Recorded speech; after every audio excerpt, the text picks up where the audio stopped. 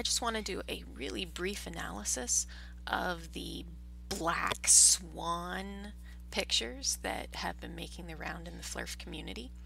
Um, here we have two pictures taken from the original video and what they're contending is that there's some magnification going on here and that's why these platforms are um, are being cut off that they've been magnified and that since they're magnified then they slip under the horizon or something along those lines.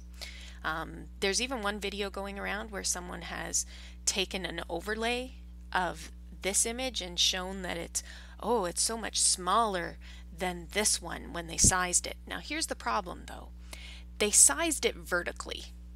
Now this image down here is stretched vertically. That's what atmospheric compression or atmospheric distortion does is it pulls things vertically. It just it stretches, it distorts vertically.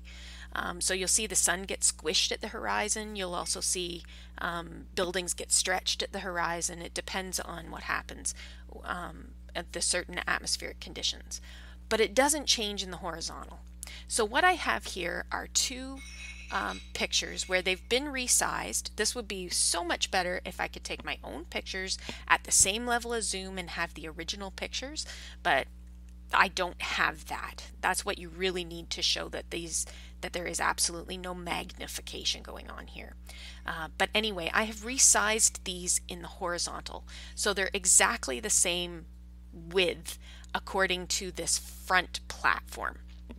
So I'm going to pull um, this uh, layer up here. And I'll show you that it's the same width according to the front platform. Now if I line up the front platform look at the width on the back platform. It's the same too. Okay? So there's no magnification. This distance hasn't changed at all or anything else. Here's what has happened.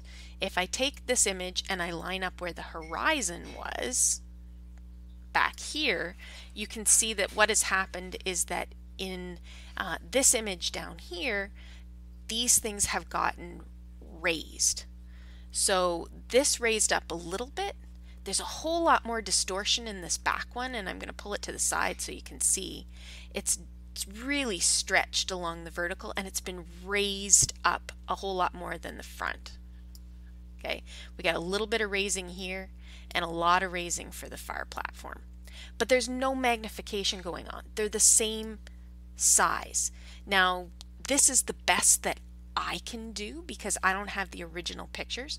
What you would really need to be able to show that there was no magnification going on in uh, in this image is that you would take the same level of zoom from the same location from the same height um, on different days and you would be able to see that the width does not change.